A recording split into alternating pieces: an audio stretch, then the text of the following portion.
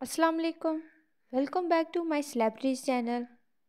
Punjab college Lahore में मुतासरा लड़की के वालद का बयान सामने आ गया है, जिसमें उन्होंने इस न्यूज़ को फेक करार दिया है।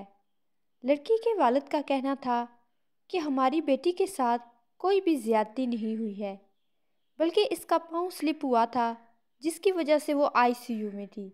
उन्होंने मज़ीद कहा कि मैं नहीं चाहता कि मेरी बेटी का नाम लेकर इसके बारे में गलत मालूम फैलाई जाएँ।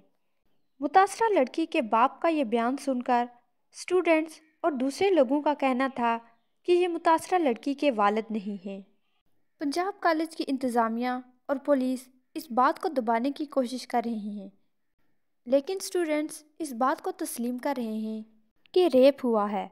उम्मीद करते हैं कि इस बार उस लड़की को इंसाफ मिल जाए।